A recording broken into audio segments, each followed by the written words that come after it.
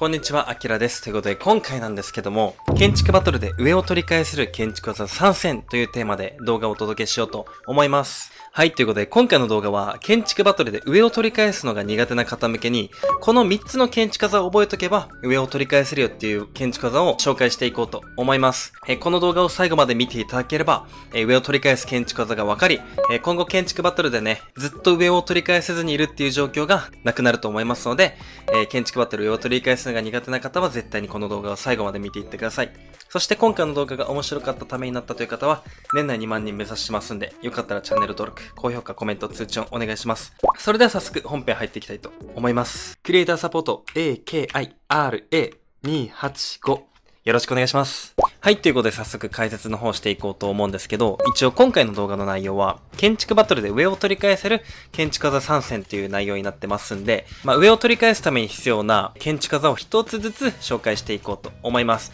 で、一応紹介していく建築技としては、えー上からの被弾を防ぎながら上に登っていく建築技、えー敵から上を取り返すための建築技、敵が上に行くのを阻止するための建築技、この3つの建築技を紹介していこうと思います。この動画を最後まで見ていただければ、えー今後ね、建築バトルで、えー上を取り返すのに困らなくなると思いますんで、絶対に最後まで見ていってください。で、早速ね、本題に入っていこうとは思うんですけど、本題に入っていく前に、ちょっと一つね、えー話したいことがあるので、それを先に話させてください。で、一応今回話していく僕が話したいことっていうのは、まあ今のね、僕の目標という話になってます。はい。まあ昔まで僕って、まあその競技をメインに、ね、頑張っていきたいっていう風に言ってたと思うんですけど、最近あまり競技に出てなかったり、まあどっちかっていうと動画投稿とか配信の方に力が入ってるんじゃないみたいなことを言われることが最近増えてきましたので、ちょっとね、えー今の僕の目標について話していきたいと思います。で、実際に今のね、えー僕の目標を言わせていただくんですけど、今の目標はね、このフォートナイト界隈で、えー少しね、影響力を持った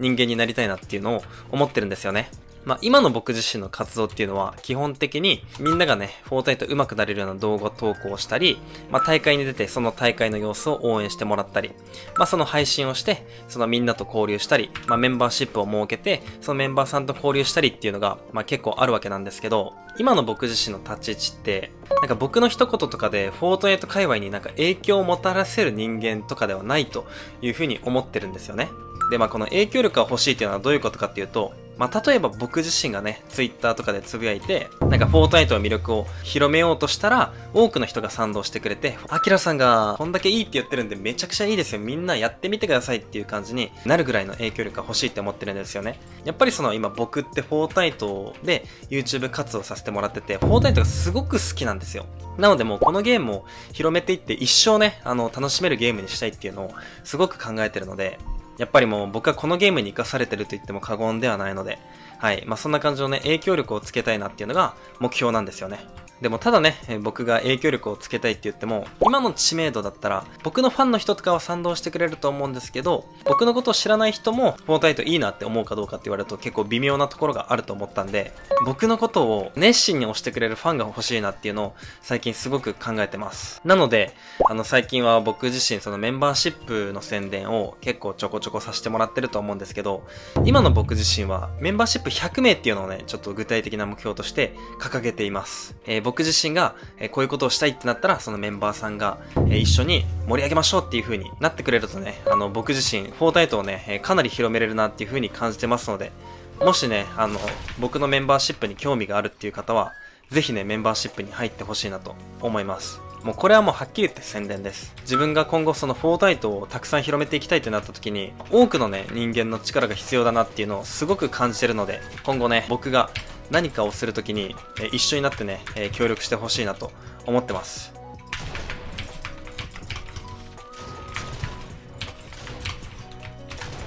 で、一応メンバーシップでできることっていうのは、概要欄にメンバーシップでできることの動画を貼っつけておきますので、えー気になる方はね、ぜひ概要欄から動画に飛んでみてください。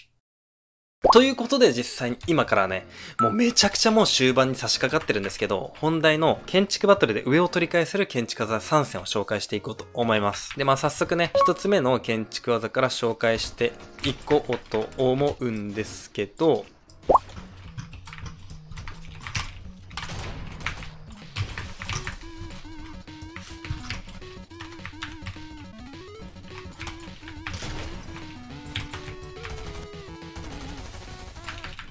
はい。ということで実際に今からね、あの、上を取り返すための検知技を紹介していこうと思うんですけど、まあ、一つ目の検知技は、上の被弾を防ぎながら、えー、上に登っていく切り返しをね、紹介していこうと思います。で、実際にその切り返しをお見せしていこうと思うんですけど、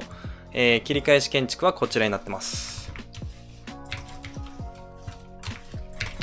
はい、こちらですね。はい。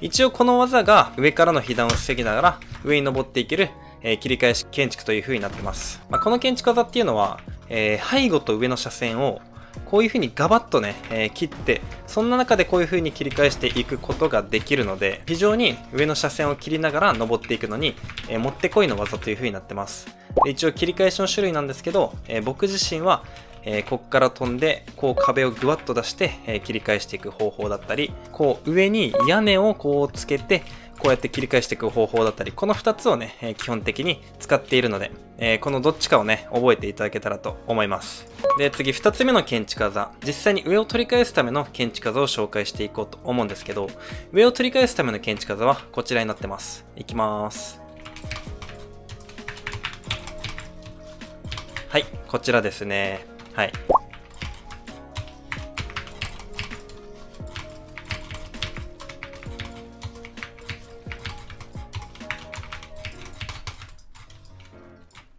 まあ、さっきの技っていうのは、結局その上からの避難を防ぎながらこういう風に登っていく建築技なんですけど、この建築技って上の車線を切りながら登ることはできても、実際に上を取り返すための決め手にはならないんですよね。なので、最終的に上を取り返すための決め手の建築技が必要なんですけど、その決め手の建築技っていうのが、さっき見せたこのハイボールを使った横跳びという風になってます。やはり横跳びっていうのは、え上を取り返すのに一番もってこいの建築技という風になってまして、その横跳びにハイボールを加えることによって、えかなりね、被弾を防ぐプラス、え上を取り返すことにつなげることができます。で、この横跳びに関してはね、えこの動画でも紹介してますので、この動画の方をね、見ていただければ、えやり方が詳しくわかるかなという風に思います。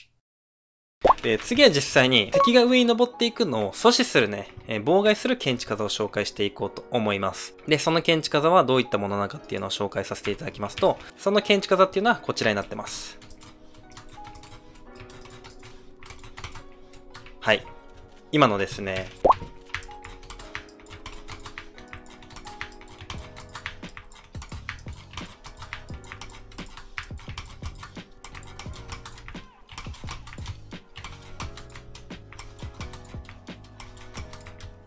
まあ、結局何をしてるのかっていうと、この壁越しにこの屋根を置くっていうことですね。はい。やばいやん。そんな歌んでいいやんね。まあ、上手い人ってほとんどの人がやってる建築技になるんですけど、こんな風にその壁越しに屋根を置くことによって、かなりね、敵が上に行くことを妨害することができるんですよね。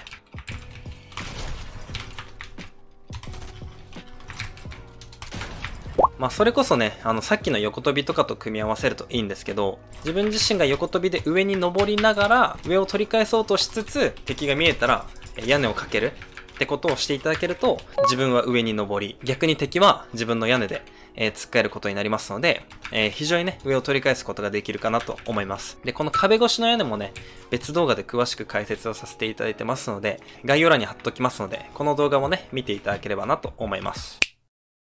一応この3つがね、今回紹介させていただく、建築バトルで上を取り返せる、えー、建築技3選という形になってますんで、えー、よかったらこの建築技すべて覚えて、えー、建築バトルで上を取り返していただけたらと思います。ということでね、一応ラスト、なんか 1v1 にほぼ近い状態なんですけど、まあ、最後はね、ビックロイを取って、この動画を終わりたいと思います。いきますか。